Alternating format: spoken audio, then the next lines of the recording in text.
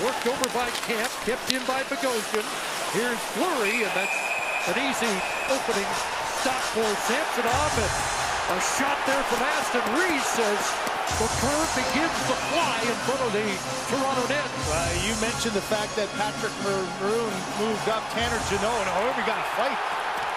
Giordano is chirping away with Bogosian. Bellemare, and Bogosian came flying in, hungry to get into the action. I think surprised Giordano. He wasn't ready for Bogosian to go in. He was dealing with Bellemare.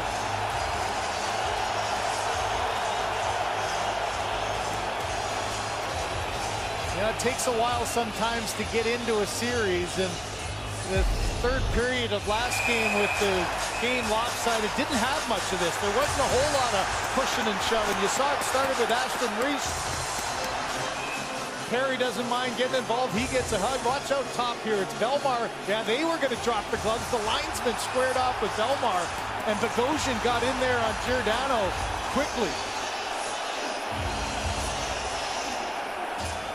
And the old guy did pretty well. right. Yeah, absolutely. Was falling backwards. They got a couple of shots in. And I think a lot of people watching that game one were a little bit surprised that there wasn't this kind of jockeying in that third period. It, it kind of went quietly and as did the game. But here early on, the early goals got the crowd into it, and you could see the tense rivalries that are starting to develop as they always do as the playoff series goes on.